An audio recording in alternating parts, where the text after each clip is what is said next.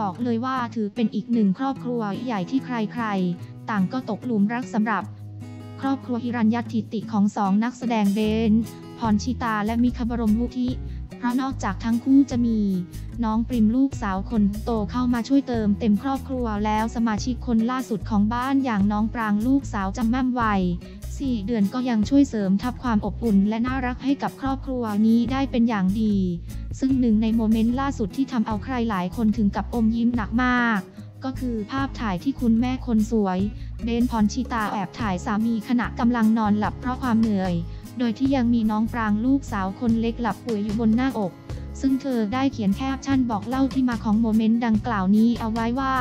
โถพ่อมิคกลับจากทำงานมาดึก แต่ก็อยากจะช่วยเลี้ยงลูกระหว่างแม่ไปปั๊มนม กลับมาอีกทีก็เป็นสภาพนี้แล้วค่ะคุณผู้ชม รักพ่อนะไม่ปลุกดีไหม